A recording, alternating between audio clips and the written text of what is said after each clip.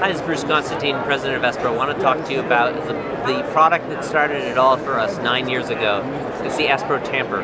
This is a calibrated tamper, and what that means is that when you press it down, if you look carefully, it's going to move. And it clicks, it provides a very subtle click at 30 pounds of force. 30 pounds is the set point that everybody in the industry recommends to uh, tamp coffee. Um, and if you can tamp the same way every time, what that allows you to do is to dial in your grinder and get the same output from your espresso machine every time. There's a reason that this product is sold in over 30 countries. There's a reason it comes standard with every La Marzocco Strada machine in the world. And that's because precision in tamping matters. Um, this year we're also excited uh, to be launching the VST um, dimensioned tamper.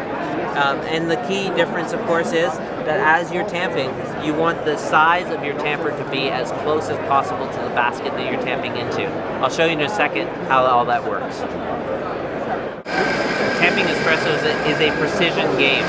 Um, it's very difficult for you to know how hard to push and whether you're doing it the same time now as you did the last time.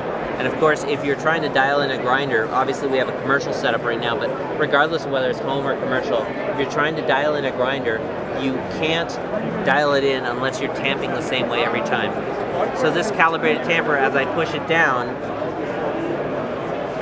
is going to tell me when I hit 30 pounds of force. And it's going to feel the same way whether I'm tired or whether I'm peppy, whether I'm physically large or a very lightweight person. Using the Espro tamper is one of the only ways to lock in your tamping step of your of your espresso making every time so that the next shot is tamped exactly the same way as the previous one.